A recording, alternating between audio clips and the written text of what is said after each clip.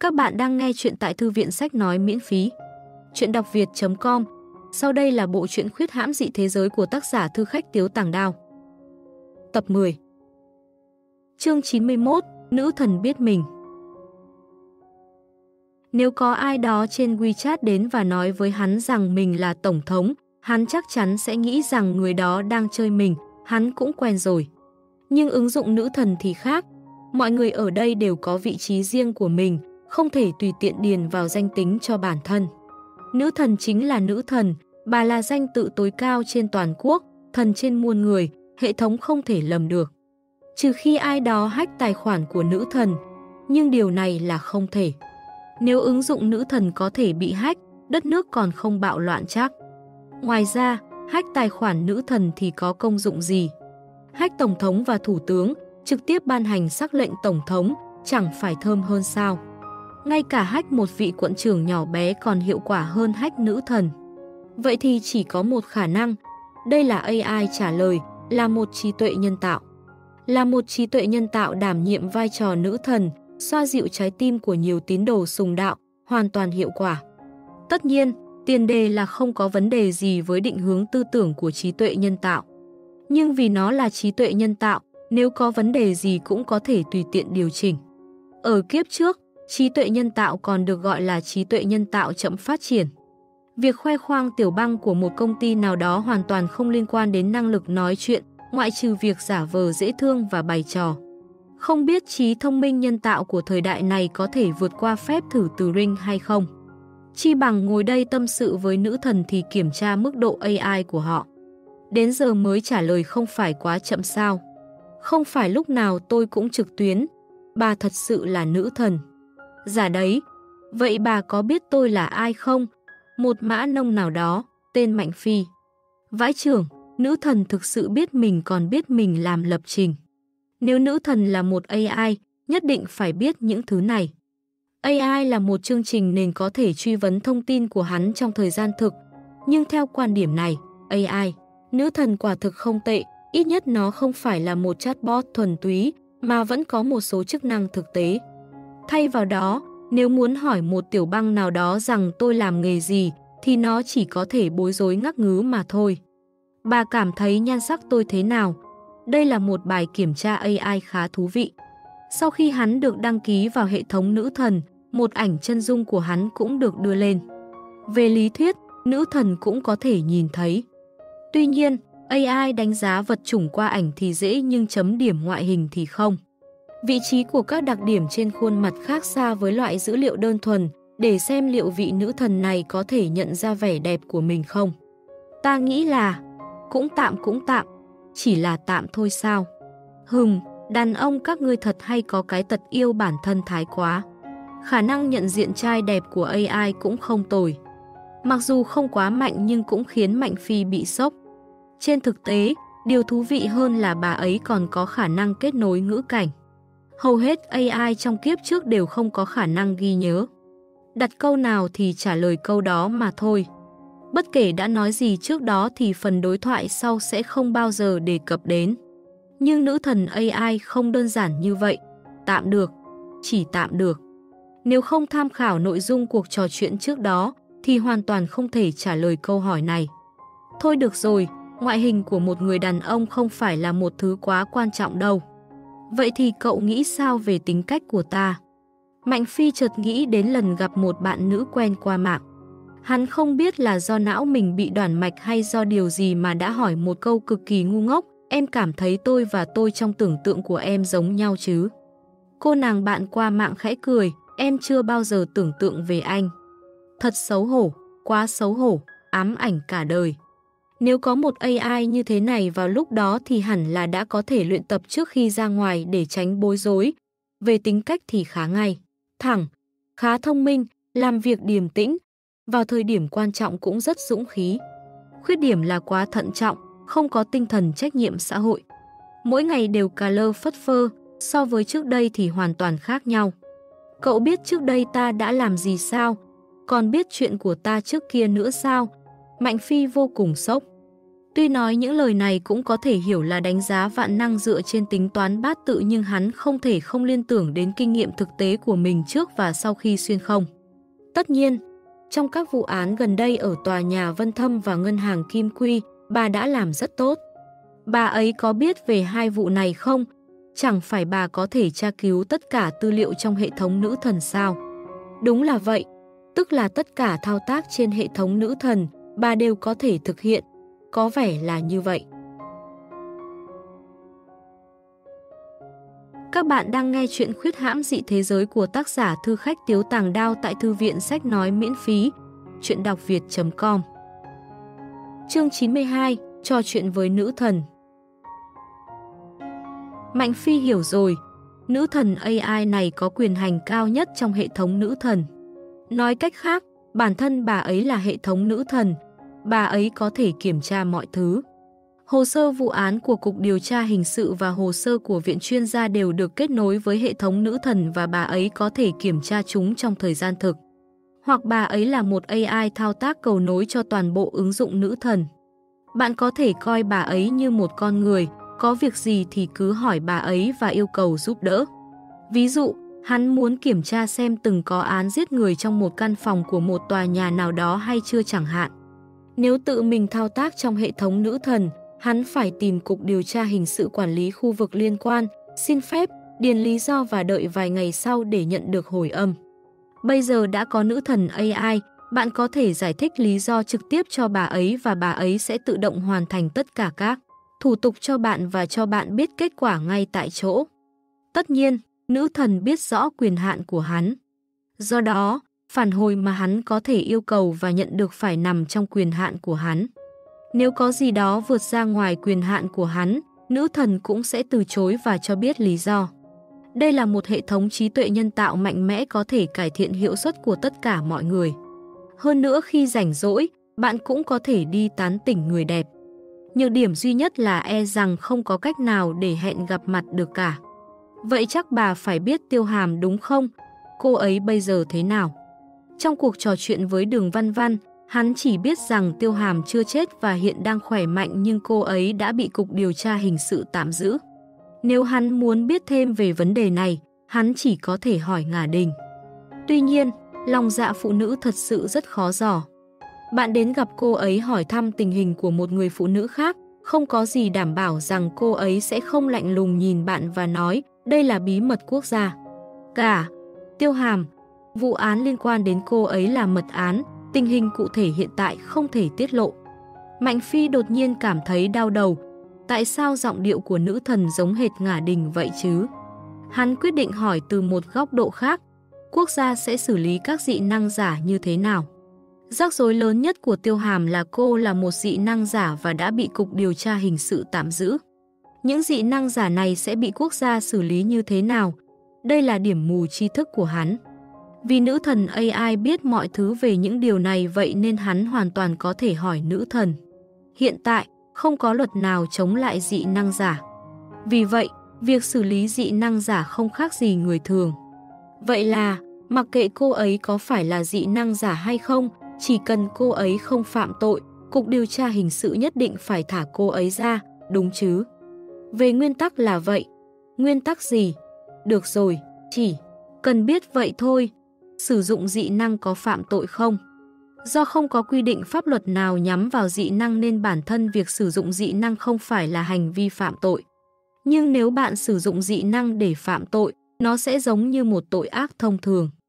Câu trả lời của nữ thần thực sự rất chuyên nghiệp, Mạnh Phi trầm tư một lúc.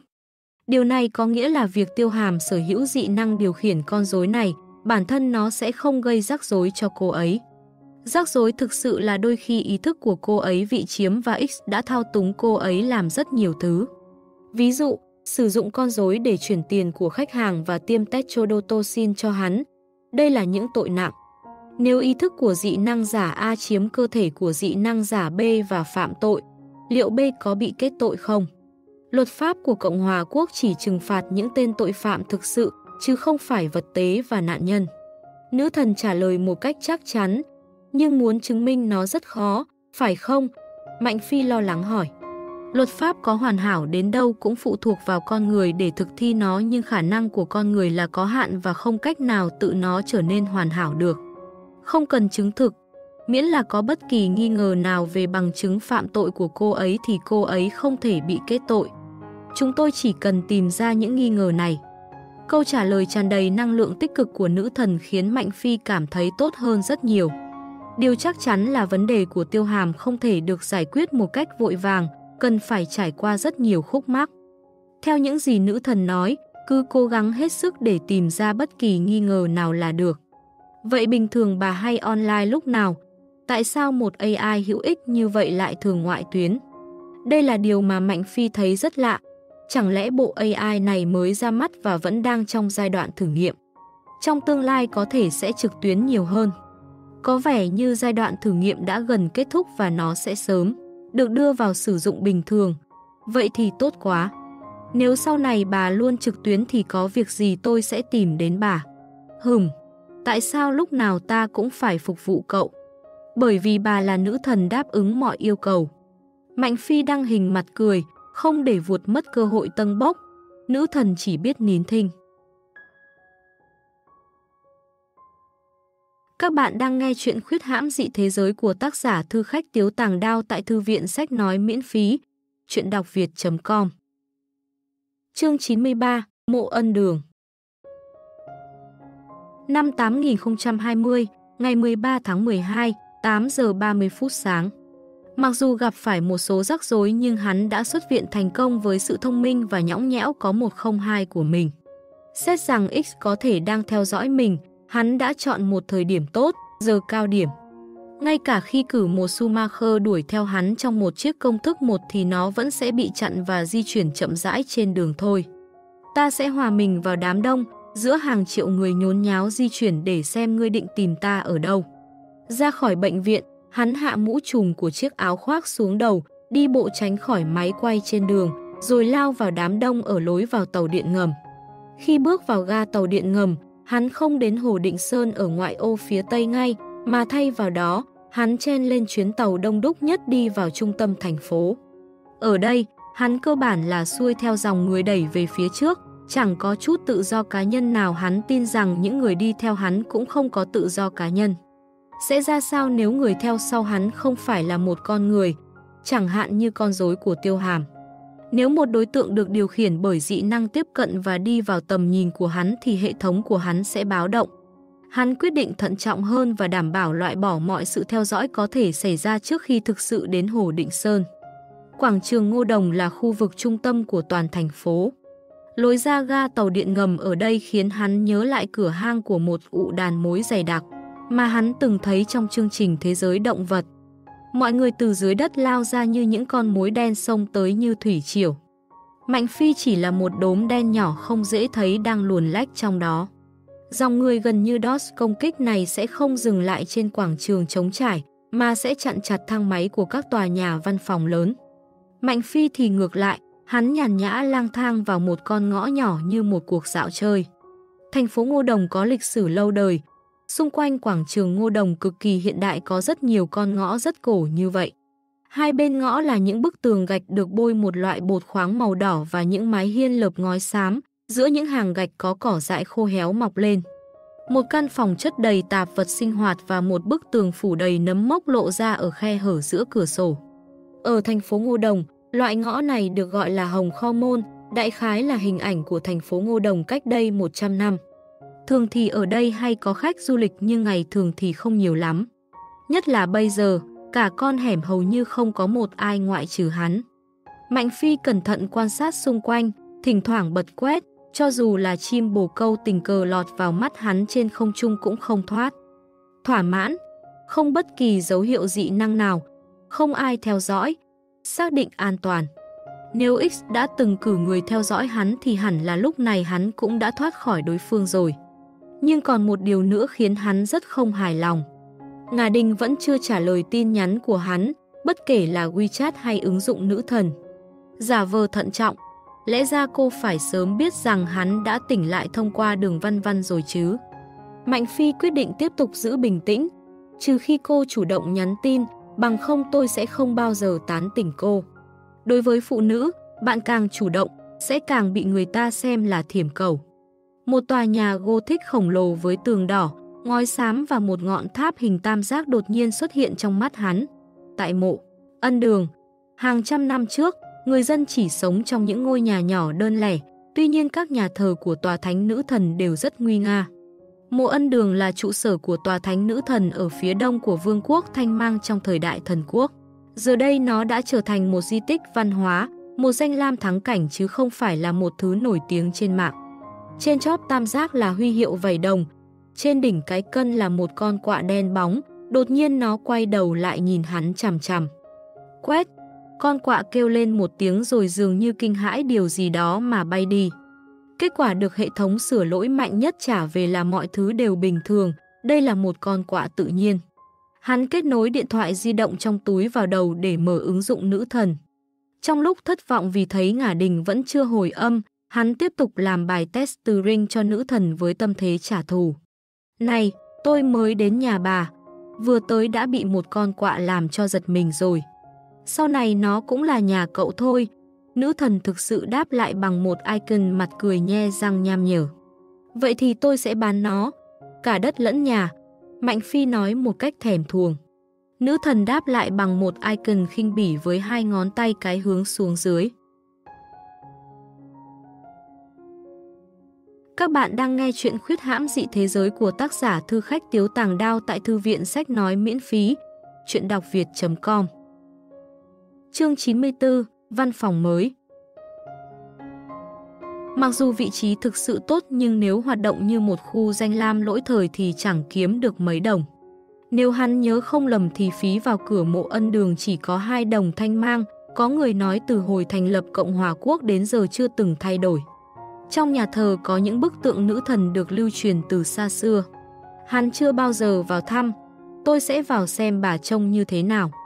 Gì, người chân mắt thịt làm sao có thể miêu tả dung mạo của ta được. Hơn nữa, ngươi có thể ngừng chú ý nhiều đến ngoại hình không? Nữ thần thực sự đã trả lời hai. Câu liên tiếp, xem ra đề cập đến ngoại hình thì có là AI cũng có thể bị bức đến gấp gáp. Thật xin lỗi, hôm nay có hoạt động nội bộ, nên không mở cửa tham quan. Một bà cô đang nghịch điện thoại sau cửa sổ soát vé ngẩng đầu lên. Điều này khiến Mạnh Phi rất thất vọng. Có hoạt động nội bộ thì đóng cửa, cửa mở thì vẫn đi làm nhưng không cho vào là sao. Nhà của bà đóng cửa rồi, nữ thần chỉ đáp lại bằng một nụ cười bí ẩn. Mạnh Phi bắt đầu kết nối với điện thoại di động của bà cô soát vé, rồi âm thầm mở đi đi. 10 phút sau, xe do bà cô gọi đã đến, đến Hồ Định Sơn. Được. Mạnh Phi do dự một lúc và rồi quyết định chuyển tiền vé đã thanh toán lại cho bà cô soát vé vào một tuần sau. Như vậy vừa an toàn vừa xứng đáng với lương tâm của hắn. Nhưng điều hắn không biết là, Ngả Đình, người mà hắn thầm trách cứ không chịu nhắn tin lại, chỉ cách hắn một bức tường chỉ là không chạm mặt mà thôi. Ngà Đình đã biết tin Mạnh Phi đã tỉnh lại từ đường văn văn. Nhưng sáng nay vừa lúc mở ứng dụng nữ thần, cô đã bị một đống tin nhắn chấn động, lập tức gạt chuyện liên hệ với Mạnh Phi qua một bên. Thông báo, thông qua sự đồng ý của tỉnh, tri hội nghiên cứu tín ngưỡng nữ thần thành phố Ngô Đồng chính thức được thành lập vào ngày hôm nay. Thông báo, kể từ bây giờ, số 81, ngõ 316, đường Bắc Thương Trung, thành phố Ngô Đồng sẽ được giao cho tri hội nghiên cứu tín ngưỡng nữ thần thành phố Ngô Đồng làm văn phòng thường trực. Thông báo, bạn đã được bổ nhiệm làm Chủ tịch Hiệp hội Nghiên cứu tín ngưỡng nữ thần của chi nhánh thành phố Ngô Đồng, hãy đảm nhận vị trí của ngay lập tức. Còn có một loạt các sắp xếp chi tiết hơn ở phía sau. Nói một cách đơn giản, văn phòng của cô ấy sắp chuyển khỏi Cục Điều tra Hình sự đến một địa điểm mới. Nhưng vị trí đội trưởng đội điều tra tội phạm tổ 2 của cô ấy sẽ không bị tước đi, mà mặt khác là kiêm chức. Hầu hết người của đội điều tra tội phạm đều ở lại Cục Điều tra Hình sự để tiếp tục điều tra những vụ án có liên quan đến dị năng với tư cách là điều tra viên tội phạm. Một số ít người sẽ chuyển đến văn phòng mới cùng với Ngả Đình. Sự thay đổi đột ngột có nghĩa là sự thay đổi của hướng gió thượng tầng. Trước đây, Hiệp hội Nghiên cứu tín ngưỡng nữ thần là một tổ chức bí mật nhưng bây giờ nó phải công khai tự lập môn hộ. Đây rất có thể là tiến bộ đạt được trong việc xây dựng luật dị năng, nói không chừng trong tương lai, cái tên Cục Điều tra dị năng cũng có thể được công khai. Mặc dù Ngà Đình không thích cái tên nghe có vẻ không đứng đắn của cục này nhưng trách nhiệm của cô còn quan trọng hơn núi Thái Sơn, do đó cô chỉ có thể ngậm bồ hòn làm ngọt mà nhậm chức. Vì vậy sáng sớm cô chạy đến cục điều tra hình sự thu dọn đồ đạc, sau đó lái xe đến văn phòng mới. Cô biết đường Bắc Thương Trung ở trung tâm thành phố Ngô Đồng, bên cạnh quảng trường Ngô Đồng, nhưng ngõ 316 thì cô không rõ cho lắm. Ngõ, ngách ở nơi đó dày đặc như mạng nhện, cho đến tận lúc tới nơi cô mới giật mình. Mộ ân đường, toàn bộ nhà thờ khổng lồ được giao cho bọn họ làm văn phòng. Khi cô đang đứng chết lặng trong đại sảnh hoành tráng cũng là lúc Mạnh Phi bị bà cô soát vé chặn lại không cho vào. Mặc dù mộ ân đường hơi cũ kỹ nhưng dù sao thì đây cũng là một di tích lịch sử và nó được bảo dưỡng rất tốt. Có một công ty bảo dưỡng chuyên chịu trách nhiệm về mọi thứ ở đây, từ làm sạch đến tu bổ. Không giống như văn phòng cục điều tra hình sự bừa bộn và chật trội, Ngà Đình thích môi trường ở đây. Một sảnh tế lễ khổng lồ, đủ lớn để chứa hàng nghìn người, chiếm khu vực chính của nhà thờ. Những viên gạch đá xám có thể nhìn thấy ở khắp mọi nơi bao gồm cả mái vòm với các đường xếp chồng lên nhau, các cột đá và cửa sổ có hình chóp vòng cung. Đèn chùm bằng đồng khổng lồ treo trên mái vòm và những băng ghế dài màu cà phê tạo thành một bầu không khí yên tĩnh và sâu lắng. Những họa tiết hình thoi xanh đỏ, rực rỡ trên kính cửa sổ lại truyền cho bầu không khí yên tĩnh một cảm giác huyền bí. Văn phòng và phòng họp của họ ở tầng trên, phía bắc của sảnh tế lễ. Ở đây không có thang máy, phải đi theo một cầu thang dài xoắn ốc mà lên. Ngay lúc này, cô ấy thực sự đã có một văn phòng xa hoa của riêng mình.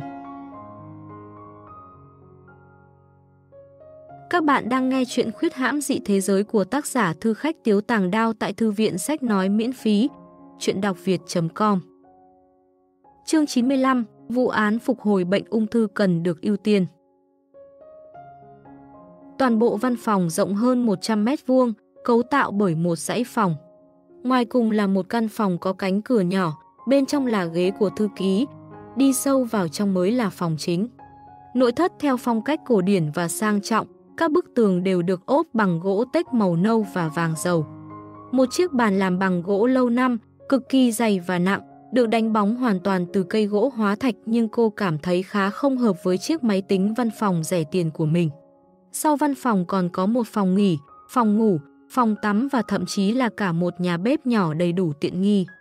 Cô ấy thậm chí còn ngay lập tức có một ý nghĩ khiến bản thân rất thích thú.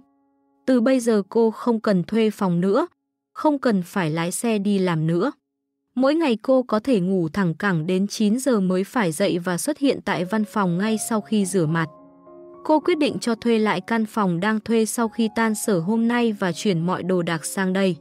2 giờ sau, cô đã sắp xếp mọi thứ ổn thỏa, mở hệ thống nữ thần trên máy tính, chính thức bắt đầu công việc. Đầu tiên, cô bấm vào ảnh đại diện của sếp trực tiếp và video call để báo cáo kết quả hoạt động chính thức của ngày đầu tiên.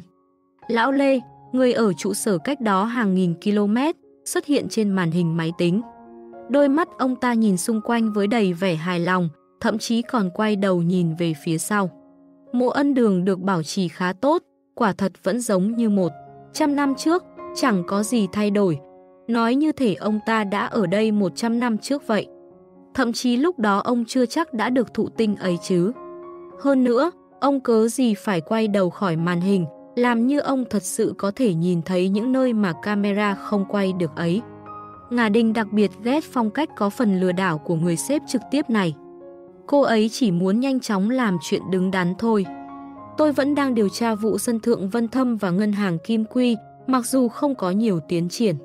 Không, không, lão Lê nhắm mắt lại lắc đầu, bây giờ còn có nhiều vụ án cấp bách hơn. Vụ gì? Trường hợp phục hồi ung thư ở bệnh viện Khôi Hỷ Thước, Ngà Đình đột nhiên cảm thấy không khí bị chặn lại. Vụ án sân thượng Vân Thâm là một vụ đánh bom khủng bố quy mô lớn. Dù cuối cùng thì vụ ngân hàng Kim Quy không làm chết ai nhưng nó gần như liên lụy đến vài người nhảy lầu và cũng liên quan đến việc thâm hụt tài sản của kha khá người giàu có. Nhiều vụ án quan trọng như thế không vội điều tra, lại đi quản bệnh ung thư của người ta hồi phục thế nào. Nhiều bệnh nhân được chữa khỏi đột ngột như vậy, đó hẳn là tác phẩm của dị năng giả. Nhưng trường hợp đó không gây nên tổn thất cho xã hội. Ngà Đình bênh vực, cô thực sự không muốn điều tra sâu về vụ án này. Khi tin tức bùng nổ, cô ấy nhanh chóng nghĩ rằng Mạnh Phi đã làm điều đó. Khoảng 10 ngày trước khi tin tức được tung ra, vào ngày 3 tháng 12, chính là ngày đầu tiên Mạnh Phi đến làm việc tại ngân hàng Kim Quy bên cạnh bệnh viện kia. Ngày hôm đó, hắn cũng đã xuất hiện công khai trong màn hình giám sát hành lang của bệnh viện Khôi Hỷ Thước. Ban đầu, đây không phải là một vấn đề lớn. Về lý thuyết, bất kỳ ai đã ra vào bệnh viện Khôi Hỷ Thước trong vòng một tháng trước khi tin tức được tung ra đều sẽ bị nghi ngờ. Con số này không phải hàng chục ngàn thì cũng là hàng ngàn. Và việc ra vào khu nhà nội trú của bệnh viện Khôi Hỷ Thước không yêu cầu đăng ký nên hầu. Hết những người trong đoạn video giám sát đều được liệt vào hàng ẩn danh. Do đó muốn làm thì phải bóc tách lần lượt các hình ảnh cá nhân đặc thù và đưa vào hệ thống nữ thần để so sánh. Mạnh Phi ở trong số đó không đáng kể chút nào. Nhưng cô thoạt nhìn đã có thể nhận ra ngay. Chính anh yêu cầu tôi giữ bí mật, vậy sao anh không tiết chế hơn, đừng động một chút là lại gây ra những tin tức bùng nổ như vậy chứ hả? Hùng, đối với loại án không gây hại cho xã hội này, Lão Lê gật đầu tán thành, vốn đúng là không có mức độ ưu tiên cao như vậy. Nhưng, ông ta chuyển hướng, dư luận đang dậy sóng, nếu chúng ta không phát hiện ra bất kỳ điều gì thì khó mà giải thích được với cấp trên. Vô số bệnh nhân nan y trên khắp đất nước đang đổ về bệnh viện Khôi Hỷ Thước rồi. Trước cửa phòng viện trưởng chật cứng, người nhà bệnh nhân đang yêu cầu tham gia thử nghiệm liệu pháp mới. Ông ấy tạm thời không cách nào về nhà được. Có người còn giấu tên đe dọa sẽ cho nổ tung bệnh viện nếu tiếp tục giấu tin tức về phương pháp điều trị mới. Những người sắp chết thật sự có thể làm bất cứ điều gì. Trong lòng ngả đình đã sớm treo Mạnh Phi lên và sẵn sàng thắt lưng để đánh hắn một trận. Nhưng khi nghĩ đến hành động từ bi cao cả không tiếc bại lộ dị năng của bản thân mà chạy đến bệnh viện để cứu những người đau khổ của hắn, cô lại không thể động thủ, trái lại, trong lòng còn tự nhiên sinh ra một cảm giác ngưỡng mộ, làm thế nào bây giờ? Các bạn đang nghe chuyện khuyết hãm dị thế giới của tác giả Thư Khách Tiếu Tàng Đao tại Thư viện Sách Nói miễn phí, chuyện đọc việt.com Chương 96 Tôi sẽ đưa người đàn ông của cô đến chỗ cô. Cái tên này không chịu chùi đít thì chỉ còn nước mình phải đi chùi cho hắn thôi. Thậm chí có nguy cơ mất chức và vào tù, cô cũng phải lau cho sạch. Ngà Đình nhắm mắt mở đoạn video kia ra, trong lòng nghĩ rằng sẽ xóa video có mặt hắn và thay thế nó bằng bản sao của video của một ngày khác. Sau khi làm, xong, sẽ giao nộp hồ sơ và nó sẽ vĩnh viễn lưu trữ trong hệ thống nữ thần. Nếu không có ai kiểm tra, có lẽ sẽ không sao. Nhưng nếu ai đó đến bệnh viện Khôi Hỷ Thước để so sánh đoạn video giám sát ban đầu, cô ấy sẽ phải ngồi tù vì đã tiêu hủy bằng chứng. Có một lựa chọn khác, đó là giữ nguyên các video. Nhưng cố tình phớt lờ Mạnh Phi, như vậy sẽ ổn thỏa hơn. Coi như là quên trích xuất người này để so sánh mà thôi. Nếu sau này có người phát hiện ra, có thể nói đó là sơ suất. Khi cô đang quyết tâm làm điều này, lão Lê lại hơi nhúc nhích. Nhân tiện, có một người cô cần chăm sóc đặc biệt. Sau đó, với một tiếng đinh đong, ông ta gửi đến tệp thông tin của một người. Vừa mở ra, mặt ngả đình liền tái mét. Cô biết anh chàng dễ thương, lạnh lùng và đẹp trai có đôi mắt màu cho này, đó không phải là Mạnh Phi sao. Mạnh Phi đã từng liên quan đến hai vụ án dị năng là Sân Thượng Vân Thâm và Ngân hàng Kim Quy, nên không thể không rơi vào tầm ngắm của lão già họ Lê. Nhưng trong cả hai lần, hắn đều cung cấp những bằng chứng quan trọng trong vụ án và lập được những thành tích to lớn, đồng thời dị năng của bản thân cũng được giấu kín mà không để lộ bất kỳ sai sót nào. Làm thế nào lão Lê có thể liên kết hắn với sự việc ở bệnh viện Khôi Hỷ Thước? Có phải ông già đã tự mình kiểm tra video giám sát và nghi ngờ không? Làm sao? Để chăm sóc người này, cô không thể không lòng vòng một hồi. Lão Lê cười một cách quái dị rồi nói, tôi đã nghe về mối quan hệ của hai người. Quan hệ gì? Chúng tôi không có quan hệ gì cả. Sự tình cấp bách thay đổi khiến cô trở tay không kịp. Lão Lê bày ra loại biểu cảm cô biết mà, tôi đã điều tra kỹ lý lịch của anh ta. Sạch sẽ, không có vấn đề gì.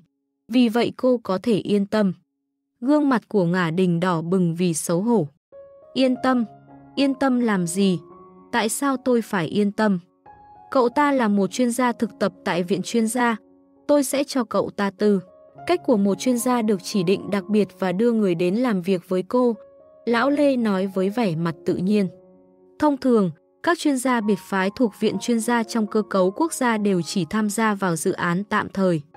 Chuyên gia biệt phái không chỉ là tạm thời mà còn cần có sự chấp thuận của đơn vị thuê chuyên gia ban đầu và chính chuyên gia đó. Nói cách khác, nếu bản thân chuyên gia không sẵn sàng tham gia vào một dự án nào đó, anh ta có thể từ chối, thiệt hại nhiều nhất đối với anh ta là bất lợi cho việc đánh giá hiệu suất sau này. Lão Lê muốn thuê đặc biệt vì ông muốn thuê chuyên gia này làm việc lâu dài trong hội nghiên cứu của mình. Điều này không phải là không thể nhưng nó còn phụ thuộc vào ý kiến của Mẫn Software và cũng như ý kiến của riêng Mạnh Phi. Vậy tôi có thể làm gì? Ngà Đình nhất thời không hiểu rõ ý tứ của Lão Lê. Tôi sẽ xử lý bên phía Mẫn Software. Tất cả những gì cô phải làm là trói chặt cậu ta vào câu lạc bộ nghiên cứu, khiến cậu ta ngoan ngoãn làm việc, giúp cô điều tra các vụ án dị năng. Tại sao lại là anh ta? Chuyện này khiến Ngà Đình cảm thấy hơi lo sợ. Là một thanh tra nhiều năm kinh nghiệm trong lĩnh vực điều tra tội phạm, Ngà Đình không nhận ra Mạnh Phi có chút sở trường nào trong công tác chống tội phạm. Dù hắn mang dáng vẻ trói gà không chặt nhưng cô cảm thấy một đánh ba thì cũng không thành vấn đề đối với hắn. Tuy nhiên dị năng của Mạnh Phi quả thực rất hữu ích. Chỉ cần có thể bổ máu cho bản thân và người khác vô hạn đã là một lỗi siêu cấp rồi, còn hắn quả là vú em mạnh nhất trong lịch sử. Chưa kể hắn dường như có thể nhìn thấy những bộ phận bất thường này trong nhân loại, chẳng hạn như phục chế giả. Nếu nói rằng những phần tử dị năng cũng là những người không bình thường giữa con người với nhau, thì nói không chừng hắn có thể nhìn ra một số dấu hiệu. Nếu đưa Mạnh Phi đến bên cạnh mình để hỗ trợ điều tra, tương đương với việc tự thêm vào cho mình một thân thể, kim cương bất hoại và một đôi hỏa nhãn kim tinh. Đương nhiên, dù có là trong mơ thì cô cũng mong muốn đưa người này đến làm trợ thủ cho mình. Câu hỏi đặt ra là làm thế nào mà lão Lê chú ý đến hắn như vậy? Yên tâm, mắt nhìn người của tôi không sai đâu. Lão Lê không giải thích gì, chỉ nói với một nụ cười bí hiểm. 10 phút sau, tại một tòa nhà khác trong thành phố, trong một phòng họp của Mẫn Tít Software, La An đóng hết tất cả các thể loại rèm và khóa cửa phòng họp lại. Sau đó, anh ta an tâm ngồi trên chiếc ghế văn phòng bọc da của mình, bắt chéo chân và nhấn công tắc trên tay ghế. Các bạn đang nghe chuyện khuyết hãm dị thế giới của tác giả Thư Khách Tiếu Tàng Đao tại Thư viện Sách Nói miễn phí, chuyện đọc việt.com Chương 97 Kế hoạch quay lại của nữ thần Với một chàng âm thanh ông ông, một tấm màn lớn màu trắng như tuyết trên tường từ từ hạ xuống. Anh ta chưa thực hiện thêm bất kỳ thao tác nào thì màn hình đã tự phát ra ánh sáng trắng như tuyết. Trên màn hình hiện ra một văn phòng khá tối tăm, ngồi trên ghế là một ông lão với đỉnh đầu bóng loáng và mái tóc trắng gợn sóng sau đầu, mặc một chiếc áo choàng thần giáo màu đen viền bạc. Ông lão liếc nhìn La An ở bên kia màn hình, rồi đi về phía tấm màn cho đến khi mũi ông chạm vào màn hình. Sau đó, một điều kỳ diệu đã xảy ra. Màn hình màu trắng dường như bị mũi của ông ta đẩy ra và chúng đột nhiên phồng lên, lộ ra màu sắc. Đầu tiên là một cái đầu hói màu da nhạt sáng bóng, sau đó là một vòng tóc xoăn như bờm sư tử màu trắng tuyết phía sau đầu, cuối cùng là toàn bộ cơ thể của ông lão bước ra từ tấm màn trắng. Bức màn trắng không ngừng lay động như sữa vừa mới bị khuấy lên, hình chiếu của văn phòng tối tăm dường như cũng dập dờn theo. La An không ngạc nhiên khi thấy ông lão bước ra khỏi màn hình máy chiếu giống như Sadako bước ra khỏi thư viện, ngược lại còn mỉm cười, lão Lê, ông cần phải chơi lớn như vậy sao? Lê Mục bước ra khỏi tấm màn, kéo một chiếc ghế và ngồi ở góc bàn gần với La An, nheo mắt bất lực, lắc đầu rồi nói, Tiểu La, chỉ có mấy người trẻ tuổi như các cậu mới làm mấy chuyện này như thế này thôi. Cái gì mà Internet, cái gì mà video call khiến tôi cảm thấy mất hết quyền riêng tư. Mau ngắt mạng ở đây đi, để tôi thoải mái nói chuyện chính sự.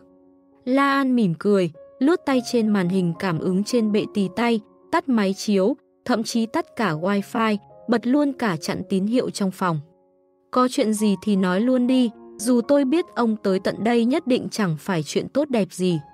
Lão Lê cười nói, vậy cũng chưa chắc. Nói xong, ông ta cẩn thận đặt lên bàn một sấp giấy A4. Chỉ cần xem qua một lần cậu sẽ biết ngay. Đừng nói với ai trước khi nó được công khai. Dù sau này cậu có nói tôi là người cho cậu xem, tôi cũng không thừa nhận. La An cầm tài liệu trên tay, lật sở từng trang. Các tài liệu mô tả một dự án quốc gia được gọi là kế hoạch trở lại của nữ thần. Trong thời thần quốc có lời đồn đại, nữ thần có thể giao tiếp với mọi người thông qua các giáo sĩ. Nhưng đó có phải là sự thật hay không, không ai biết được ngoại trừ những giáo sĩ giỏi giả ma giả quỷ nhất. Sau tam chiến, Cộng hòa quốc được thành lập, tòa thánh nữ thần đã công khai thông báo rằng nữ thần đã ngủ say và sẽ không còn giao tiếp với bất kỳ con người nào nữa. Sau đó, tòa thánh cũng mất luôn trách nhiệm công bố thần dụ và dần suy tàn cho đến khi bị giải tán. Nữ thần trở lại không thực sự là mời nữ thần quay về, mà là kết nối ứng dụng nữ thần của hệ thống cơ quan quốc gia với ứng dụng WeChat mà mọi người dân đang sử dụng. Điều này tương đương với việc mở rộng đáng kể phạm vi dịch vụ của ứng dụng nữ thần. Trước đây, chỉ có công chức nhà nước mới có thể đăng nhập vào ứng dụng nữ thần để trao đổi với cán bộ các cấp và xử lý công vụ. Trong tương lai, bất kỳ ai có WeChat đều có thể kết nối trực tiếp với hệ thống công vụ quốc gia. Họ có thể sử dụng hệ thống này để yêu cầu các quan chức từ bất kỳ bộ phận nào phản hồi về các vấn đề. Hoặc họ có thể trực tiếp xử lý nhiều công vụ mà trước đây phải chạy gãy chân mà cũng chưa chắc hoàn thành. Nhưng nâng cao hiệu suất của cơ cấu quốc gia không phải là điểm cốt lõi ở đây. Cốt lõi thực sự ở đây là sự kết nối từ trên xuống dưới. Cho phép mỗi công dân có thể trực tiếp đối thoại với quốc gia. La An điều hành công ty nhiều năm như vậy, đương nhiên anh ta hiểu rõ một điểm. Chất lượng sản phẩm là thứ mà thậm chí sự mạnh yếu của một công ty cũng không thể quyết định được, mà mấu chốt quyết định chính là nằm trong tay người sử dụng. Vô số lỗi tiểu tiết chỉ có thể được phát hiện bởi người đang sử dụng nó. Nếu bạn có thể hiểu chính xác những rắc rối và mong muốn mà người dùng đang gặp phải, đồng thời tiếp tục giải quyết vấn đề và làm hài lòng họ, bạn sẽ có thể tạo ra sản phẩm tốt nhất. Mặt khác, nếu các nhà quản lý và nhà phát triển đều tự sướng rằng mình sẽ làm điều gì đó cực kỳ tuyệt vời nhưng lại khiến phàn nàn của người dùng càng lúc càng nhiều như sao trên trời, thì thời điểm đóng cửa của công ty đó cũng không xa mấy đâu. Quốc gia cũng giống vậy. Giả sử rằng bản thân Tổng thống có vô số phân thân, mỗi cái có thể nói chuyện với tất cả công dân trên toàn quốc cùng một lúc. Nghe thấy những rắc rối và đề xuất của họ bất cứ lúc nào, thì ông ấy sẽ không bối rối về cách xây dựng chính sách của mình. Các bạn đang nghe chuyện khuyết hãm dị thế giới của tác giả Thư Khách Tiếu Tàng Đao tại Thư viện Sách Nói miễn phí, chuyện đọc việt.com Chương 98 Mượn người giá 1 tỷ Nghe thì có vẻ đơn giản nhưng thực ra lại vô cùng khó. Bởi vì không ai có khả năng nói chuyện với mọi người dân cùng một lúc và nhận phản hồi trong thời gian thực. Vào thời thần quốc, có sự phân biệt rõ ràng giữa quý tộc và thường dân, các giáo sĩ thậm chí còn cao cao tại thượng hơn, từ thường dân đến. Trung tâm quyền lực tối cao của quốc gia không biết có bao nhiêu cấp bậc ở giữa. Nhưng sự phát triển của công nghệ thông tin và Internet trong thời đại Cộng Hòa đã làm cho tất cả những điều này trở nên khả thi. Tổng thống không thể có vô số phân thân nhưng hệ thống thì có thể. Họ có thể cho phép mọi người dân nói chuyện trên hệ thống nữ thần và trí tuệ nhân tạo của hệ thống nữ thần có thể trả lời và xoa dịu họ với tư cách quốc gia, đồng thời trích xuất nội dung của cuộc đối thoại, phân loại, phân phối và xử lý một cách vô cùng hiệu quả nỗ lực giải quyết các vấn đề của từng người dân và nâng cao năng lực quản trị của toàn bộ cấu trúc quốc gia. Trên thực tế, điều này tương đương với việc để mọi người dân tham gia vào quá trình vận hành và cải cách đất nước. Khi trí tuệ và chất xám của rất nhiều công dân được kết hợp với nhau để thúc đẩy sự tiến bộ của đất nước, đất nước này sẽ là bất khả chiến bại. Chỉ là một khi kết nối như vậy được thiết lập, các vấn đề bảo mật chắc chắn sẽ bùng nổ và không ai có thể đoán trước được điều gì sẽ xảy ra lúc đó. Hệ thống ban đầu chỉ phục vụ cơ cấu quốc gia nay được mở cửa cho toàn dân và bề diện tấn công cũng sẽ tăng hơn 100 lần. Tin tặc, lừa đảo, tiếp thị, tất cả các loại người sẽ sử dụng hệ thống này để đại hiển thần uy. Tổng thống có thể thực sự nói chuyện trực tiếp với tất cả mọi người nhưng tại thời điểm đó, ông ấy sẽ không thể biết liệu ông ấy đang nói chuyện với một công dân hay một kẻ lừa đảo, hay thậm chí còn không biết được đối phương có phải là một con người hay không. Không cần phải nói, sẽ có tất cả các loại chào hàng, xếp hạng ảo, bom quảng cáo, tiếp thị lan truyền, vân vân xuất hiện. Và thế là toàn bộ hệ thống quốc gia có thể sẽ tràn ngập trong thư giác. Càng nguy hiểm hơn nếu cơ sở dữ liệu cốt lõi bị tấn công, dư luận có thể bị thao túng, luật pháp có thể bị sửa đổi tùy ý và bất cứ lúc nào quốc gia cũng có thể tuyên chiến với bên ngoài. Nói tóm lại, một vụ tai nạn do một vấn đề an ninh nhỏ gây ra có khả năng ném cả đất nước vào hỗn loạn. Vì vậy, kế hoạch trở lại của nữ thần chắc chắn sẽ mang lại những đơn đặt hàng khổng lồ cho các nhà sản xuất hệ thống bảo mật. Việc cạnh tranh cho các đơn hàng sẽ được tiến hành thông qua đấu thầu và người chiến thắng có thể là một số công ty, mỗi công ty chịu trách nhiệm về một phần của chương trình bảo mật hoặc tiếp tục cạnh tranh. Nhưng nếu một công ty biết trước chi tiết của kế hoạch, chắc chắn rằng họ có thể thu xếp trước và khả năng thắng thầu sẽ được tăng lên rất nhiều. Tuy rằng kế hoạch này bình thường sẽ công khai sau một tuần nhưng ông lão này lại cho anh ta biết trước một tuần, rõ ràng là không hợp quy củ. Lê lão đầu quá khôn ngoan, ông ta không gửi tin nhắn hay email, thậm chí cả internet hay điện thoại. Ông ta đích thân tới đây và đưa cho La An một bản sao của tài liệu bằng giấy hẳn hoi, rồi sau đó mang nó đi mà không để lại bất kỳ bằng chứng nào. Anh xem qua rồi. Ai nói? Tôi chưa bao giờ gửi nó cho anh, thậm chí hôm nay tôi còn chưa từng ghé qua thành phố Ngô Đồng ấy chứ. Khuôn mặt của La An hơi đông lại sau khi đọc nó, chắc chắn lão Lê đã đưa cho anh ta một chiếc bánh rất lớn. Nhưng trước nay mấy loại chuyện tốt như thế này lão Lê sẽ không bao giờ cho không, nếu không đổi lại gấp 10 lần hay trăm lần, làm sao ông ta có thể cho ném không lợi ích ra như thế. Nói tôi biết ông muốn gì, tài liệu cũng đọc xong rồi anh ta chẳng thể nào dứt khoát quên đi được, vì vậy chỉ có thể nhìn qua lão Lê đang có chút tự mãn bên cạnh. Lão Lê mỉm cười thu hồi tài liệu, để lại mặt bàn vô cùng sạch sẽ. Đừng đen mặt như vậy, chuyến này tôi đã mang về cho cậu ít nhất 1 tỷ đồng đấy. Nói xong lão Lê lấy ra một tờ giấy khác đặt trên bàn, đây là lý lịch của một người. Tôi sẽ đem người này về làm việc cho mình, đừng trách tôi đào góc. Tường của cậu, Mạnh Phi, La An cau mày, không ngờ rằng lão Lê cũng đang để mắt tới Mạnh Phi.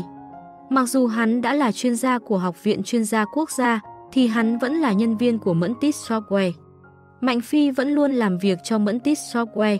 Khi hắn được quốc gia điều đi tạm thời, phía nhà nước còn trả tiền cho Mẫn Tít Software để đền bù.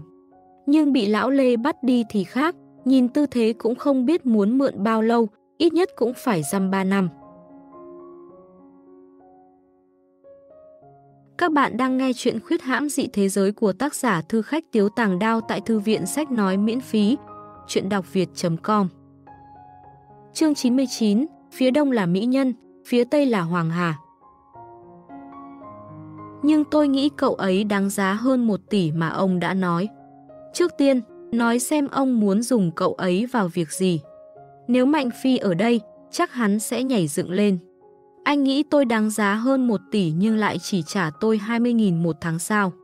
Lão Lê nhỏ giọng nói, tôi nghĩ với cậu ta có thể tìm thấy tung tích của vị đó.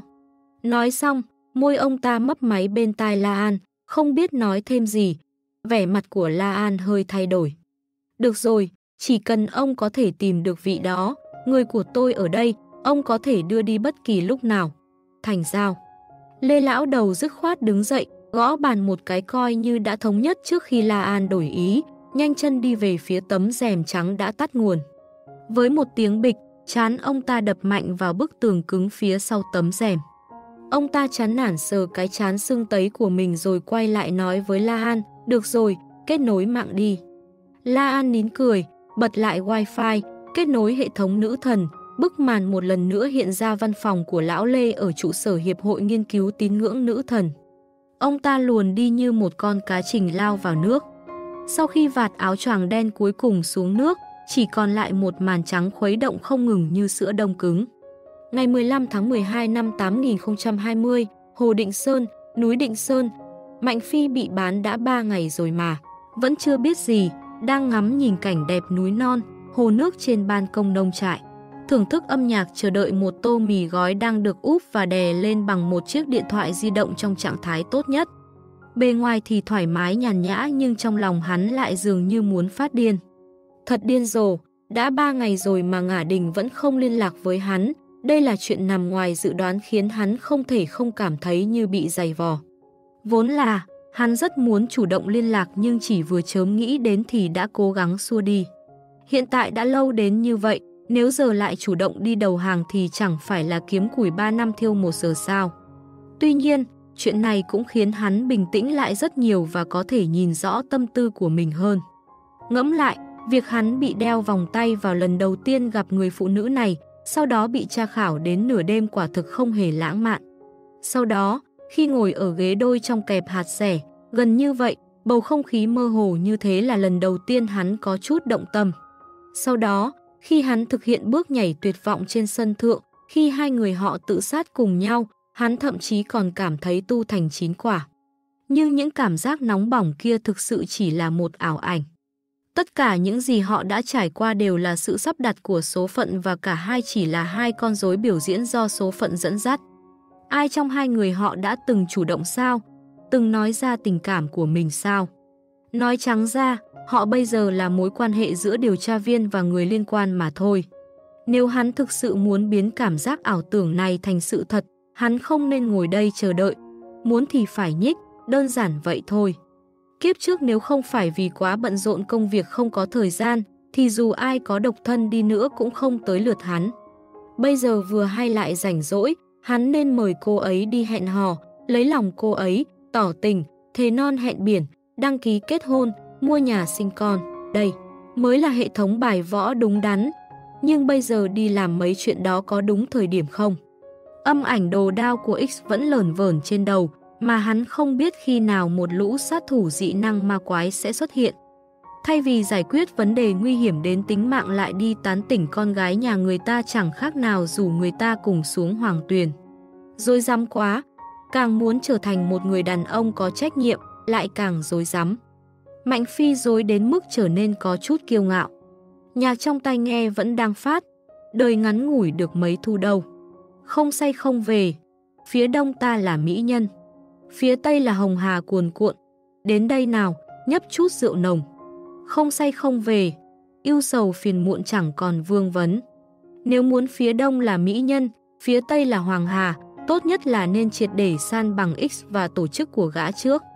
Tất nhiên, hắn không phải tự mình tiêu diệt X và tổ chức của gã, hắn chỉ cần tìm ra X, việc còn lại đương nhiên sẽ do nhà cầm quyền đảm nhiệm. Theo lý thuyết, hiện tại hắn cũng phải đi làm ở Mẫn-Tis Software nhưng hắn vừa mới xuất viện, nên đương nhiên có thể nghỉ thêm vài ngày phép nữa, đã vậy thì không thể lãng phí được.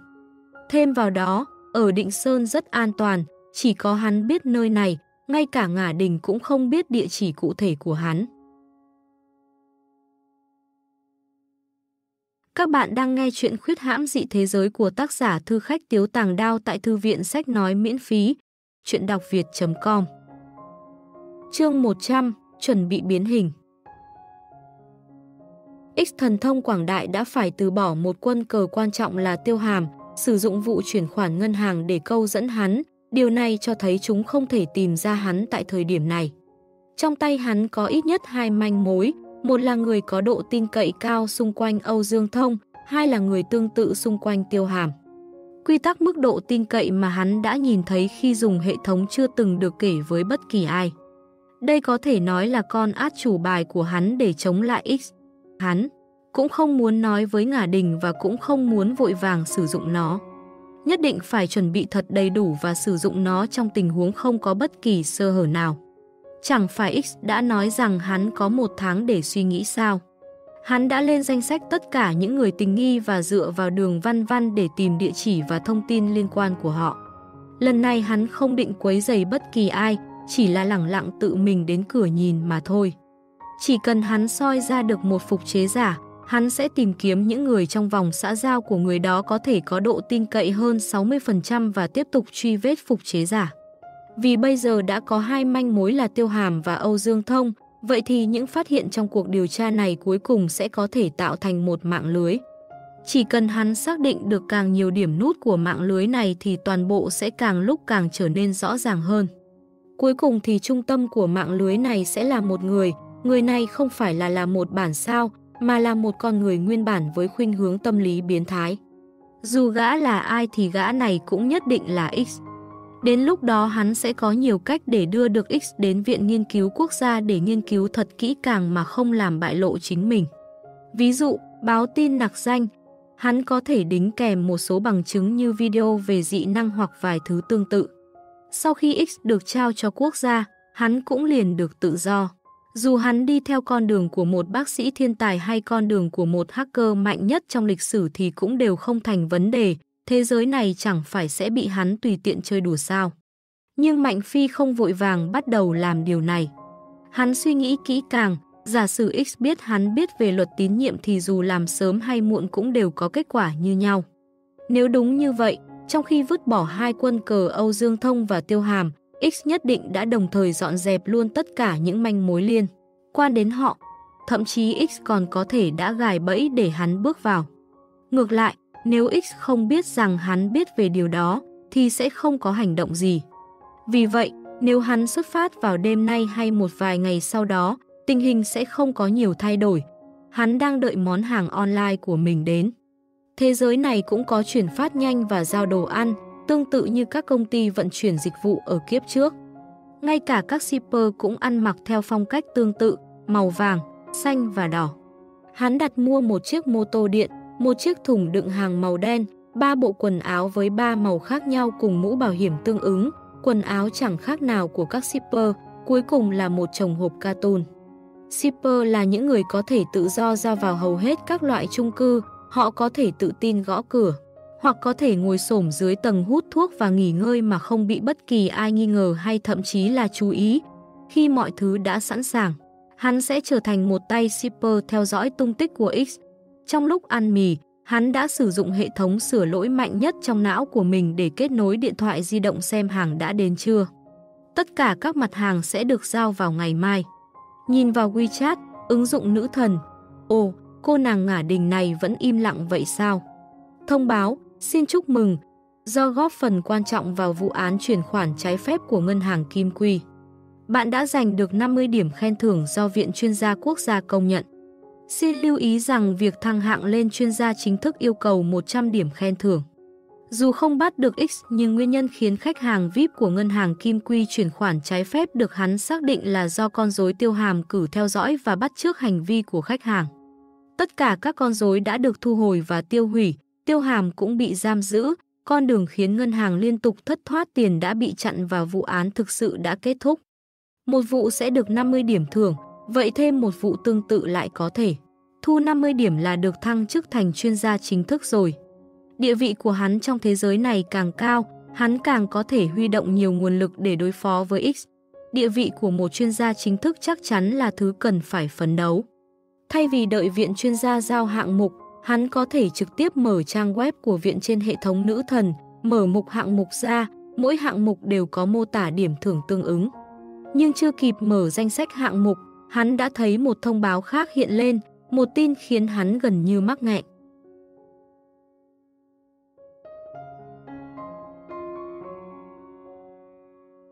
Các bạn vừa nghe xong tập 10 của bộ truyện Khuyết hãm dị thế giới của tác giả Thư khách Tiếu Tàng Đao tại Thư viện Sách Nói miễn phí. Chuyện đọc việt.com Mọi ý kiến góp ý xin vui lòng cho mình biết ở dưới phần bình luận video này. Và các bạn đừng quên nhấn like và theo dõi để giúp kênh phát triển nhé. Xin cảm ơn.